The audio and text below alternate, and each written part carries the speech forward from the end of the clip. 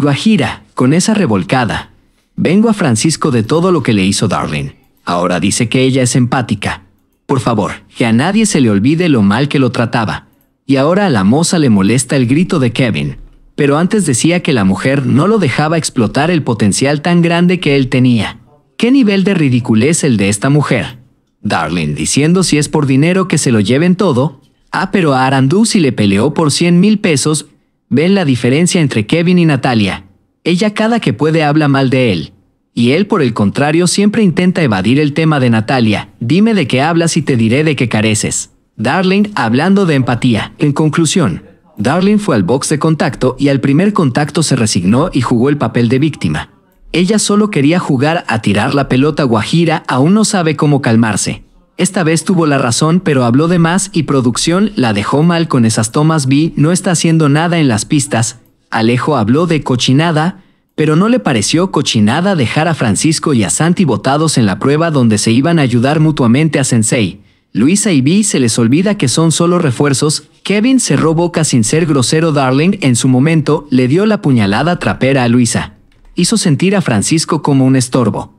Menos mal es empática. Jodá Guajira, tienes tú de la razón. Cuando te toca ser martillo da duro, pero cuando te toque ser clavo también aguanta duro. Totalmente cierto, avarienta es lo que es. No dijo lo mismo cuando le quitó 100 mil dólares pesos a Arandú. Y Guajira sí que le dio sopa y seco en esa pista jajajaja a Darling se le olvida el bully NG que junto a la nefasta de Valentina le hacían a Francisco. O la vez que entre las dos humillaron a Arandú porque él no se dejó de la plástica Valentina. O la vez que junto con Glock le quitaron a Arandú la plata. O se le olvida las veces que no dejaba hablar a los demás para imponer su voluntad, como el chaleco que le mandó a Karen y Luisa. Darling es de lo peor que ha tenido esta edición una mujer sin principios y que es peor que todo lo que critica. Darling quería que Guajira le pasara la pelota. Toma, Darling, juega. Querida, cuando te toque ser martillo da duro, para que cuando te toque ser clavo también aguantes duro. Darling, donde quiera Guajira, le daría 10 vueltas en el aire. Esa Guajira tiene una fuerza descomunal, movía a Darling como a un papelito que Fino Q. Kevin le dijo las palabras a Natalia y la puso en su lugar. Kevin les habló poco pero les dolió lo Q dijo. Luisa ya no va en carrito porque Luisa ya salió, ahora va en carretilla, ahora todos a burlarse de Luisa, como cuando ella se burló de Santi cuando él lloró y dijo que no podía más. Escupió para arriba y le cayó en la cara. Esta edición del desafío ha sido tan larga que comenzaron con Oppo Reno 11 y ya en la publicidad de la pantalla salió el 12. Dice que me hace falta Meli jajajaja y llevo de invitada a la otra vieja que le gusta. Alejandro definitivamente es todo lo que está mal en un hombre a pesar de que Luisa tiene menos peso se le dificultó y Guaji paso con mayor facilidad, teniendo más masa corporal. Grande Guaji al gallo Claudio de Luisa nunca le ha gustado que le pongan el chaleco por rendimiento y hoy le tocó quedarse callada porque sabe que es verdad y que atrasa mucho a su equipo. Jajajaja ya ese vidisque. Alejo en esa parte le va bien. Alejo procede a caerse. El desafío no es igual. Lo sigo viendo, pero ya no hay aquella emoción. Se han ido buenos competidores y el giro que le dieron al programa no fue el mejor. Que gane el que lo haga mejor y listo Guajira preguntando que si Kevin sube solo ese hombre hasta acarrea un equipo. Solo dos cosas me hicieron reír en este capítulo las peleas Carolina y Jerry como marido y mujer y lo de Alejo que le hace falta a Meli, jajaja. Esa Luisa si es mala otra vez perdió el tino, ese agarrón que se dan Jerry y Caroline a cada rato. Una relación tóxica, explosiva, amor y odio. Viejo Jerry, así no se puede. Ya parecen mamá y pollito cuando pierden el dice. Esta no fue, pero va a ser la próxima y la próxima y la próxima y la próxima Guajira me quito el sombrero. Con un cuerpo más pesado y subió esa cuerda tan fácil. Jaya, jaya, me encanta el chaleco es la Luisa por rendimiento y ahí si se queda callada me da mucha risa la transición ¿Qué caracolas en las peleas de Carolina y Jerry casi se agarran de las greñas y después abrazo en la sillita? Los amo pibe que rabia ver esas flojas y ver que no está mi Karen.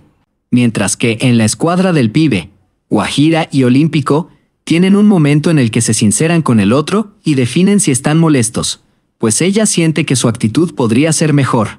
Jerry besa a la crespa luego de admitir que le tenía ganas, y el chiqui se viste de cupido por otro lado.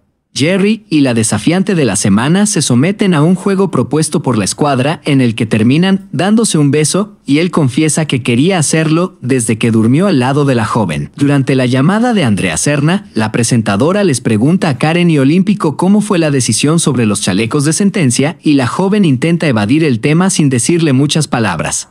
Antes de salir al box negro, el equipo rojo se reúne para darles un mensaje de aliento a sus sentenciados. Sin embargo, cuando Caroline habla, Olímpico le pregunta si se está despidiendo y le pide que no lo haga, pues están seguros de que volverán sin problema tras la pista. En el enfrentamiento de los hombres siempre estuvo de primero a Olímpico, seguido por Sensei y finalmente Alejo y Vi, quienes se turnaron el último lugar. Posteriormente, permitieron que sus parejas salieran y Karen conservó la ventaja, seguida por Darlene, Luisa y Natalia. Publicidad, a pesar de que tenían tiempo al llegar los integrantes del equipo pibe no pudieron encestar ninguno de los balones con rapidez, mientras que sus contrincantes sí lo hicieron. Debido a esto, el orden de las parejas ganadoras quedó de la siguiente manera. Sensei y Darling, Alejo y Luisa. Finalmente, Natalia y Vi, lo que significa que Karen y Olímpico fueron eliminados del reality de los colombianos.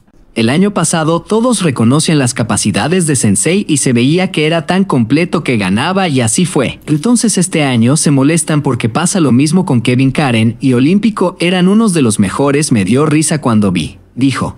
Ya se fue la mente maestra y Olímpico ni hablaba muy acertadas las palabras de Olímpico hacia Kevin. Es un competidor muy completo y sin rival en este desafío. Wow Jerry, qué lindo hablando con esa admiración de Olímpico, y lo deseaba tanto competir con él y se le cumplió que pesar, hacen falta. Karen y Olímpico. Muy triste Natalia ahora diciendo que Kevin no tiene rival y antes lloraba porque le ponían chaleco a Kevin como te arde. Es verdad, no tiene rival, simplemente el mejor. Para Natalia, Kevin era el mejor cuando andaba con ella, ahora no es capaz de reconocerle el potencial que decía que la ex no veía en él. Olímpico hasta fuera del reality, sigue siendo protagonista. Me encanta cuando Jerry regaña a Caroline muy caballero y respetuoso aparte que es una excelente persona, la suma de las dos cosas. Velocidad en la pista y la precisión al finalizar, definitivamente ponen a Kevin en otro nivel. Todos han tenido pistas en donde han flaqueado en algo. Nadie es perfecto. Pero Kevin no ha flaqueado en ninguna. Jerry parece un peladito y Caroline la mama qué gran diferencia y elocuencia entre las respuestas de Alejo y Kevin. Mientras el uno responde de manera torpe con arrogancia y soberbia, el otro responde tranquilo, con humildad y sin desmeritar a nadie. Cuatro participantes llegan al box negro en compañía de sus refuerzos para el desafío a muerte. Una de las parejas enfrenta un momento de tensión en su equipo luego de verse en la necesidad de autoenchalecarse. El día 102 en el desafío inicia con los integrantes del equipo Tino enfrentando su castigo después de pasar toda la noche cargando peso y cumpliendo con lo definido en la prueba anterior.